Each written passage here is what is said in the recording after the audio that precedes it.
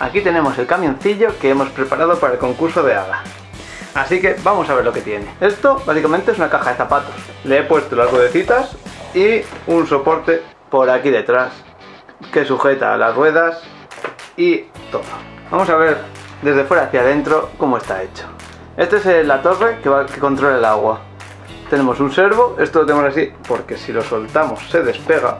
Esto está conectado a otro servo que hace el juego.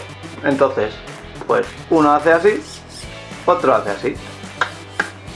Entonces ahora vamos a ver el interior. Tenemos que quitar el cable con cuidado.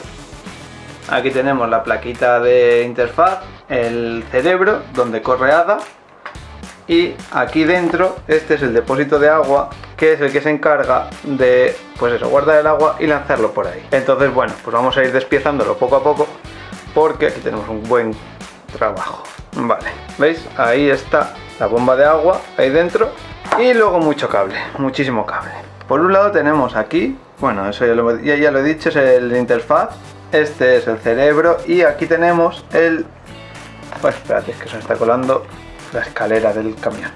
Ahí tenemos el NRF-Z, que es nuestro chip wifi. Vamos a abrirlo y vamos sacándolo poco a poco. Primera pieza.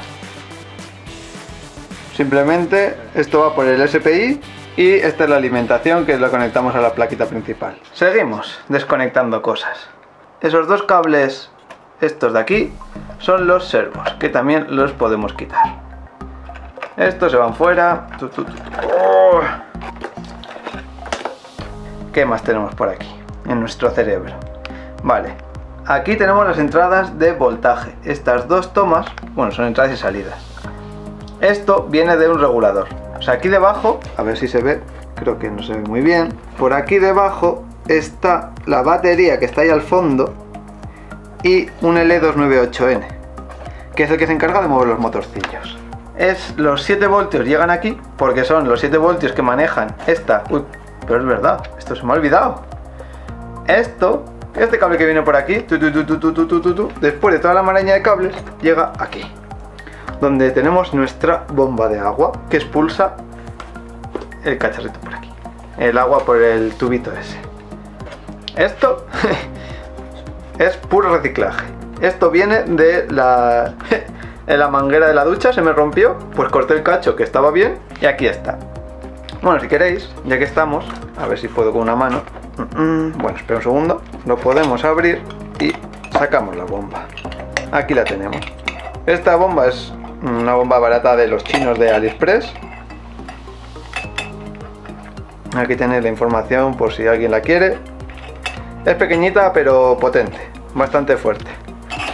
Total, ya está fuera mierdas. Si seguimos por aquí. Eh, del 298 que, está aquí, viene aquí. Eh, o sea, aquí viene la batería y aquí vienen los 5 voltios, porque depende a qué parte vayamos, pues necesitamos 5 o 7. Entonces, esta es la bomba. Hay un circuito, bueno, una interfaz que lo podéis ver en el blog cómo funciona. Esto es básicamente mm, enciendo o apaga los 7 voltios a la fuente, o sea, a la, bomba de agua en función de esta entrada de aquí. Que esto es una señal digital de 1-0 que activa la bomba, así que fuera también. La señal de los servos. Los servos, la señal PWM de los servos son estos dos.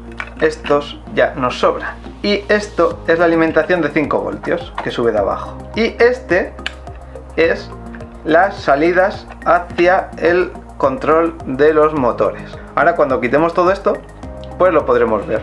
¿Qué nos queda ahora? tenemos esta placa que la hemos colocado de manera que se enganchan en los pilares esos y se queda tan, tan pichi. Entonces esta la podemos ir dejando por aquí.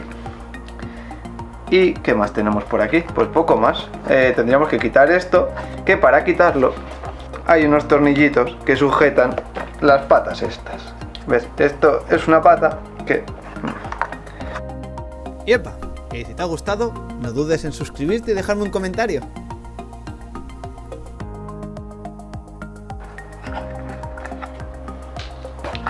Vale, y ahora nos sale lo que tenemos abajo. Aquí tenemos nuestro L298N, que es el encargado de manejar los motores con estos cables de aquí.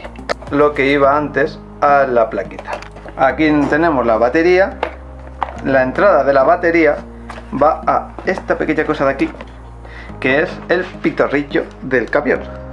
Si lo subimos lo encendemos y si lo bajamos lo apagamos. Entonces, eh, de esta manera podemos controlar mejor que no se nos gaste la batería. Y ya una vez sin batería, mágicamente ha desaparecido, ha hecho plas.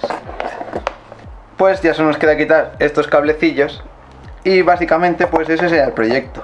Luego además de esto tenemos una webcam que es la que se encarga de enviarle la posición y, se me olvidó decirlo, aquí en la tapa tenemos estos, estos circulitos que son los que usamos en la cámara para saber dónde está el camión. Es decir, detectamos los círculos verdes, los círculos azules y así sabemos la posición del camión. O sea, la posición que tiene él y el objetivo. Y pues eso es todo. Esto es un poco el camioncillo. Este es el vídeo de presentación que voy a hacer para el concurso. Y bueno, ya que estoy, lo supongo que lo subiré al canal. Si te gusta, ya sabes, like y suscríbete.